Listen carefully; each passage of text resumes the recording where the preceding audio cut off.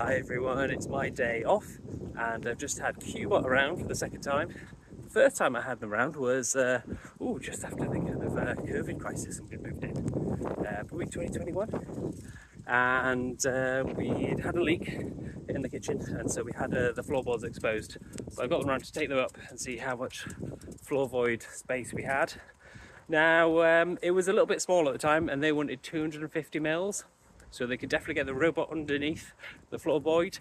And once they're covered all the underside of the floorboards and joists with insulation. They want enough room for ventilation so they don't cause damp dry rot which uh, you know brilliant good.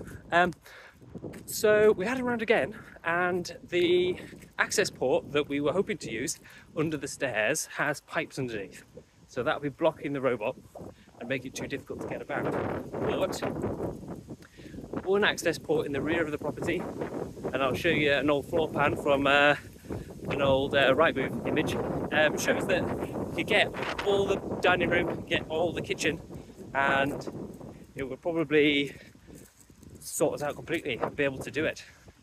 The other issue is at the rear of the property we've got no air brick because our rear access to the yard with some French windows has knocked the air bricks out or previous owners have raised the floor at the back um, to put in the um, in the astroturf, uh, and so and leveled it off a bit higher. And they may have just covered an air brick, um, and so that's stopping cross ventilation. And so we don't have any damp yet, but the moisture content of the wood is about 23%, and they won't do it if it's above 20 because the foam dries out the wood and uh, becomes moist itself and then fungus can grow in it.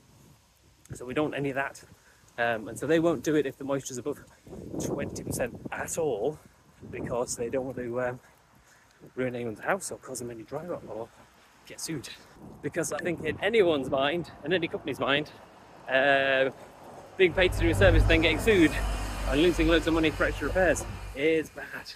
And it's kind of reassuring that they're only going to install it where it's responsible to install it. So I'm not too disheartened by that, but it gives me some extra jobs to think about and things to arrange before I can get uh, my floor insulated. The next thing I need to think about is the front room.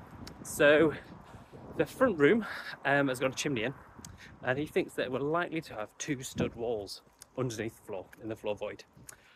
And they can knock that out to make access to the robot in the middle because you don't need it for the full length of the floor.